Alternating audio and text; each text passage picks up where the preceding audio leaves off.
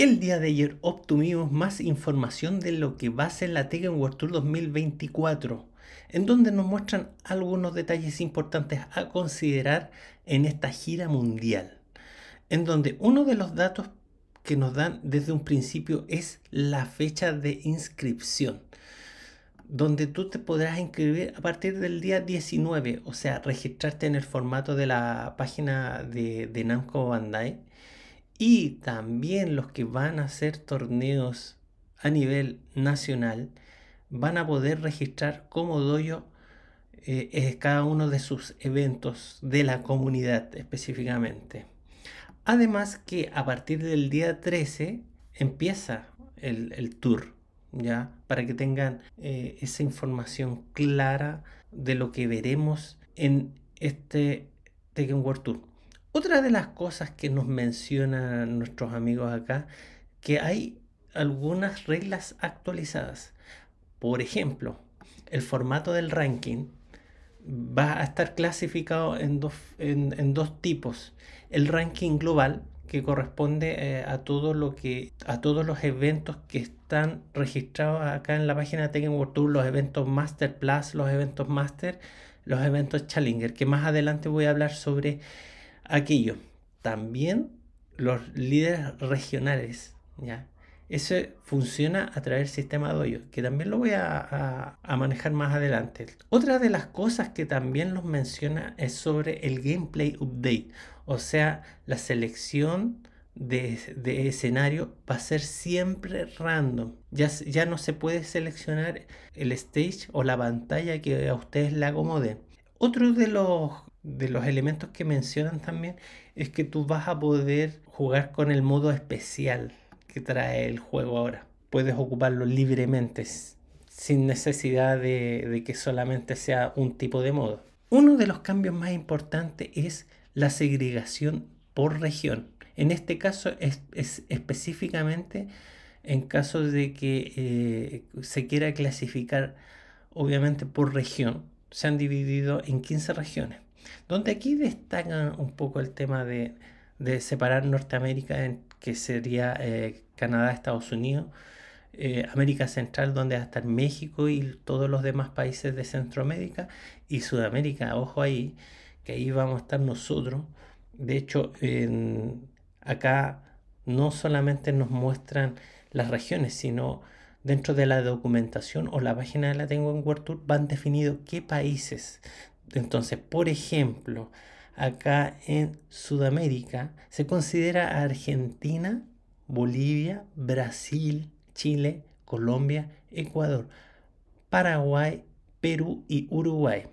Y ojo que nuevamente como tiempos anteriores han excluido a Venezuela. Yo no sé si ahí hay un tema específicamente, ya sea por el tema más menos político que hay ahí, o si es un tema de que en un tiempo atrás estuvieron haciendo eventos doyos irreales o con gente ficticia, lo cual eso sancionó mucho el tema en Venezuela. No sé específicamente a cuál de las dos cosas le están pasando la cuenta. También cabe destacar que el sistema de puntos ha sido levemente cambiado, o sea, ha modificado un poco el sistema de puntuación, ya sea en, el evento Master Plus, que sin duda es el, son los que entregan más puntos en donde está el Evo de Las Vegas y el Evo de Japón.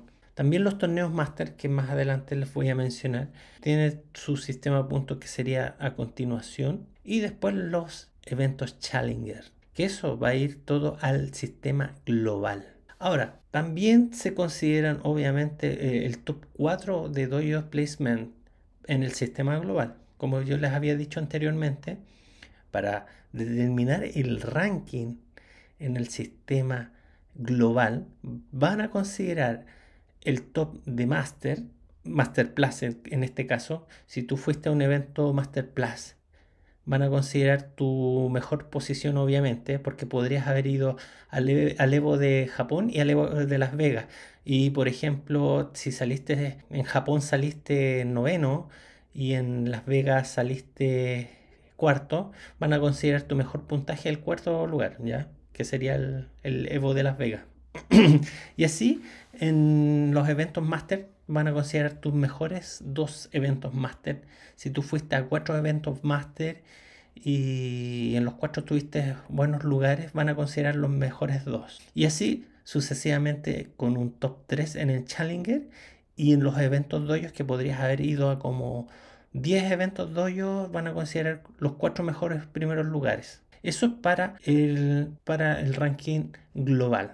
A continuación también les explico un poco sobre los eh, eventos doyo, que aquí es importante que sea, como decía anteriormente, fidedigna esto porque los pueden sancionar de forma muy drástica.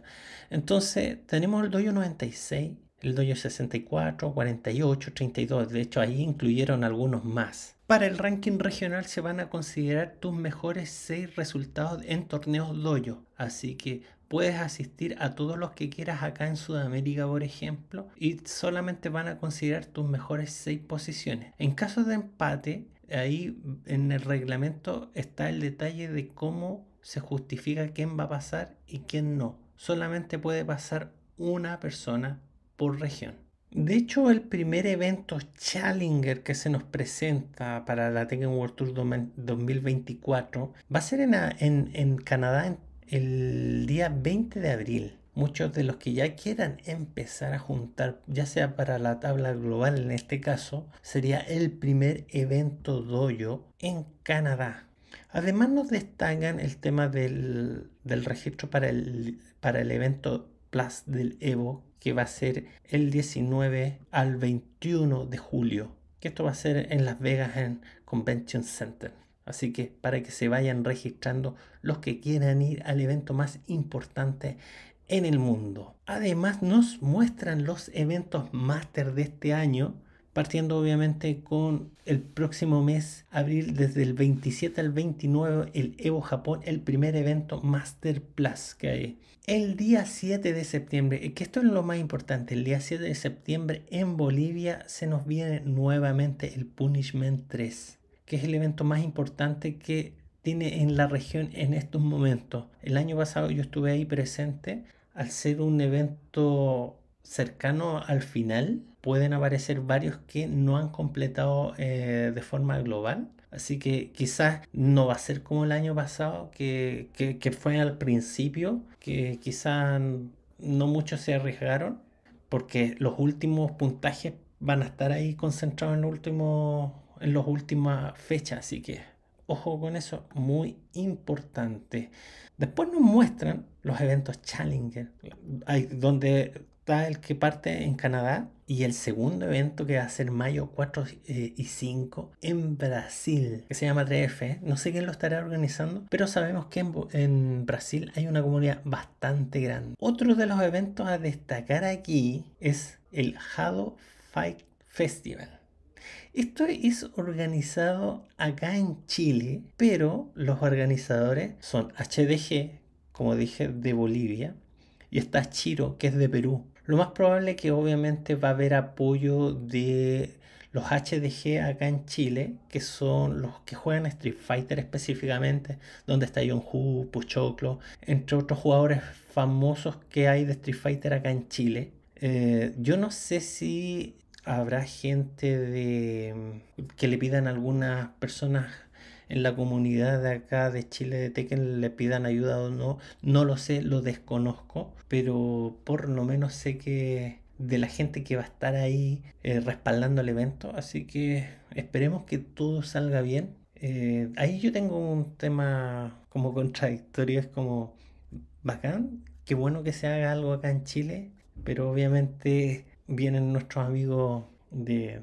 Bolivia y de Perú eh, en parte a generar un evento acá en Chile. Así que, pues nada, para mí yo solamente agradezco tener esta oportunidad de, tener un evento Challenger como la primera vez que pudimos nosotros realizar un evento máster acá en Chile en el 2017. Sé lo que es el sacrificio y lo cansador que puede ser un evento de esto. Solo desear toda la suerte a los que estén organizando este evento. Y los demás eventos que hay a destacar, hay uno en México que se llama Thunder Track, que es muy conocido en México el Thunder Track, pero no había estado dentro de, dentro de estas categorías, ya sea Master o Challenger, por lo menos ya eh, tiene una oportunidad de estar como eventos Challenger y va a estar como cercano en septiembre la última fecha, así que ojo ahí para los que realmente